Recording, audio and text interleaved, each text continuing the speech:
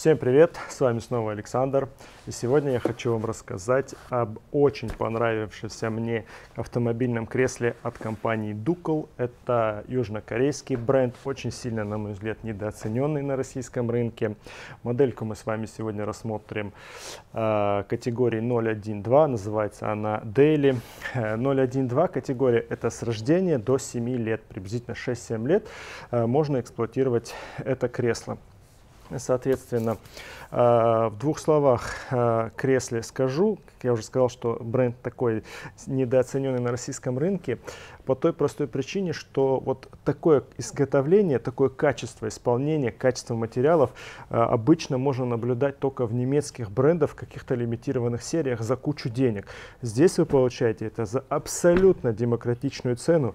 Ссылку на магазин Мир автокресел я добавлю в описании. Там пройдете, посмотрите. Цена реально прям очень-очень конкурентоспособная. И материалы, которые здесь используются, я могу назвать просто топовыми, потому что э, э, эти материалы тактильно очень приятные, ткани очень дышащие, они ощущаются дорогими, они такими и являются. Бренд сейчас активно завоевывает рынок на российском, российский рынок, соответственно, цены абсолютно демократичные. И сейчас брать эти кресла самое оно. Они соответствуют европейской сертификации безопасности, поэтому ребенка доверять, естественно, э, креслу можно. Поэтому с этим все ровно и отлично. А, теперь давайте рассмотрим с вами кресло. Вот я уже достал отсюда этот вкладыш. Этот вкладыш используется для ребенка новорожденного. Видите, здесь вот такой валик.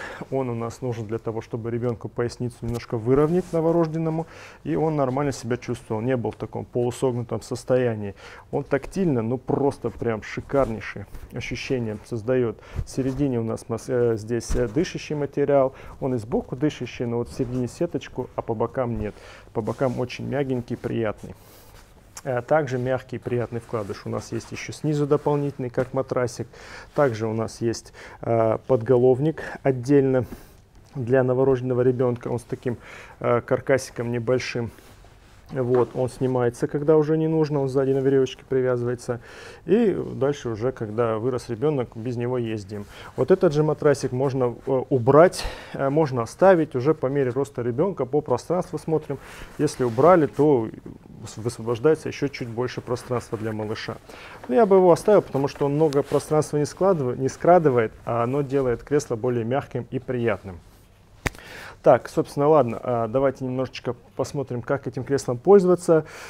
Так как оно с рождения, наверное, вы с рождения его и будете приобретать, чтобы ребенка возить. Э, это кресло не имеет системы Isofix, устанавливается оно и пристегивается к автомобилю ремнем. Я вам сейчас быстренько это покажу. Здесь очень простая система, классическая. Вот, развернули, поставили вот таким образом. Далее берем, вытягиваем ремень до конца вытягиваем, как можем. Просовываем ремень сзади.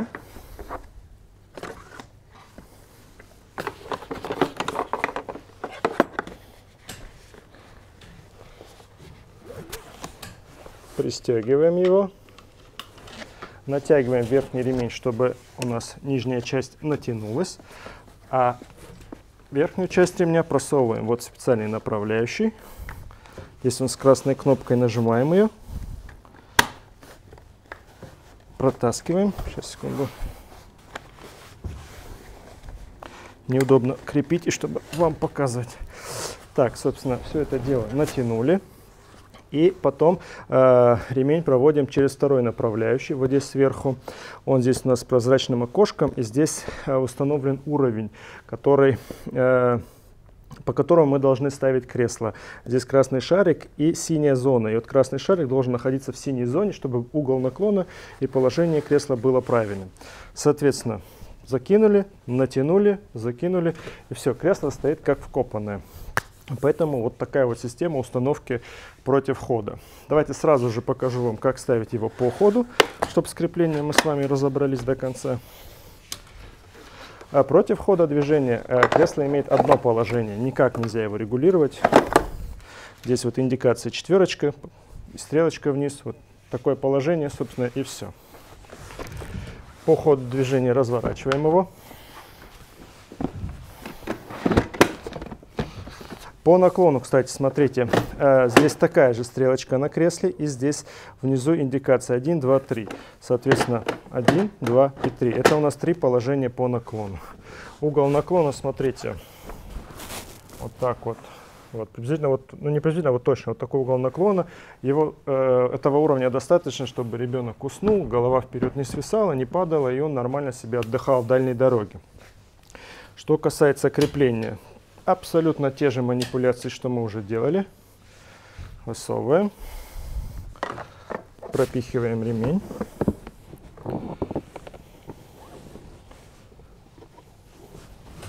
Застегиваем, натягиваем. Проводим через тот же направляющий красный. Так, что есть силы? Со всей силы натягиваем его и, соответственно, получаем мертвое крепление. Когда есть система натяжения в автомобильном кресле, это хорошо компенсирует отсутствие изофикса. Поэтому в таких случаях за изофикс, в принципе, не стоит переплачивать, потому что эта система вполне себе справляется с креплением кресла вот, ну, намертво. Здесь даже руку ну, никак, никаким образом не подсунуть под кресло. Поэтому с креплением здесь все нормально. Мы уже много детей перемерили э, в эту модельку, и недовольных э, я не видел. Действительно удобное кресло по посадке. Вот смотрите, оно насколько широкое, удобное. Ткани здесь вообще просто шикарного качества. Поэтому э, и тяжело предложить человеку, вот оно стоит там в районе 15 тысяч рублей, если память не изменяет, по ссылке в описании пройдите, посмотрите на мир автокресел. Но вот за эти деньги, вот в таком качестве исполнения, я ничего на рынке не знаю. К сожалению, на текущий момент такие материалы, качество изготовления, никто ничего подобного в принципе не предлагает. Поэтому смело могу его рекомендовать и удобное, безопасное, качественное. На вторичке, насколько ликвидное, покажет время, не знаю. Вот. А, и еще по поводу э, крепления ребенка уже по ходу движения. Здесь э, пятиточные ремни. Э, в них мы возим детей э, до 100 сантиметров. Потом, когда ребенок подрастает, у этой модели, когда ребенок подрастет до 100 сантиметров, пятиточные ремни у нас прячут, прячутся под обивку или можно вообще демонтировать, и ребенок э, пристегивается взрослым ремнем. Э, отсюда вам видно, посмотрите, берем просто-напросто ремень. Здесь есть у нас направляющий. Проводим ремень него, вот сюда. Заводим в этот же направляющий ремень с этой стороны. И пристегиваем. Вот таким образом пристегивается ребенок с метра, это где-то 3-4 года, как раз таки до 6-7 лет. И э, назревает вопрос, а как тогда крепится кресло к автомобилю? Вот именно вот когда уже взрослый ремень идет в ход крепит ребенка, пристегивает, он же пристегивает и кресло вместе с ребенком. Отдельно снизу ремень нигде не проходит. Это неплохо, это нормальная, обычная, стандартная ситуация, поэтому не нужно думать, что это плохое крепление. Нет, практически все кресла без зафикса пристегивают детей с креслом именно таким образом.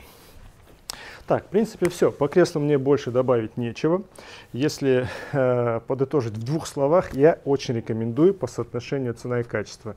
Здесь оно просто наидеальнейшее.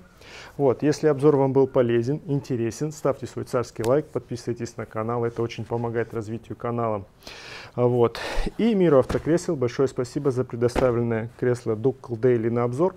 А вам хочу пожелать хорошего, грамотного выбора кресла для вашего ребенка. Всего доброго.